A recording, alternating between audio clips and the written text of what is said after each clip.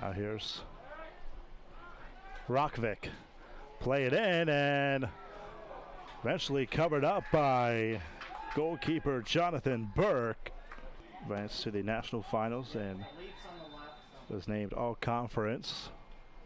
This one played in and goal, Wright State. Goal Raiders past the diving Jonathan Burke. Gary Korf, chance for Korf. Around the defender, played in and another chance and too much on that one over the crossbar. Mesa, beam, got a foot on it. Some action here. Grab there by Joel Sundell, who will punt it down the field. Joel Sundell will play it far sideline to Austin Kinley. Perez pushes this up ahead. Chance for Alex Philippe.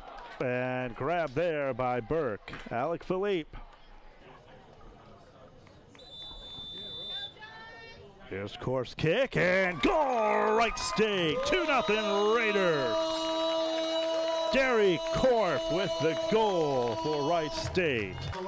The Wright State Raiders victorious here tonight over Eastern Illinois. Raiders 2, Eastern Illinois 0. Final score here from Alumni Field.